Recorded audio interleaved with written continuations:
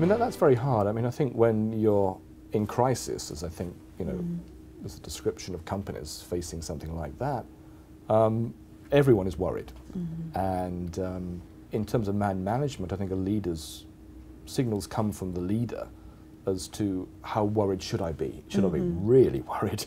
or, you know, uh, is there some path you're going to lead us onto, some promised land?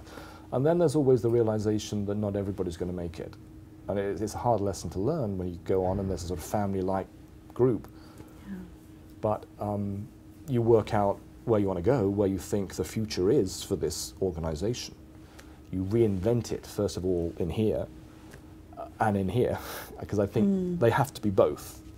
I really don't see how you can just, a leader, just go to a set of figures and say, you see it works. You know, mm. you have to genuinely believe it because you're dealing with human beings.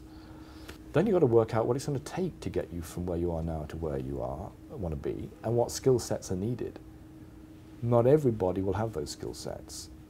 And then you go to the stage where, well, do you want to learn them? Are you excited by this? Um, what I love so much is working for companies where everyone is excited. I mean, it doesn't mean every day, but I want to see a spark in someone that this isn't just a paycheck. It might be important, it might just be fun, it might be but something to bring you alive as a human being. And if the person doesn't have that, and when you've sort of created the vision of where you want to go, and they still don't get it or still don't want to go, mm. then you're probably going to have to part company. Mm. And it may not be them, it may be, you know, the leader with their vision. It's just not the right fit anymore. Mm. And you move on, and it's always painful. And if it's not, then I really don't think you're doing a job properly. I mean, I remember mm. the first time I had to let somebody go, I was 24, 25. I'd just become a news editor. And there was this young woman, and she'd come out of university, really friendly, really bubbly. She had passion, you know, she wanted to be a journalist. At that moment, she just wasn't what I needed. She wasn't, got the skill set.